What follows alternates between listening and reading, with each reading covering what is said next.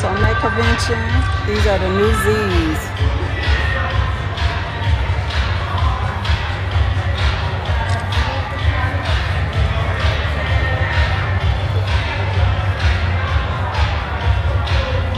Oh, this is pretty here.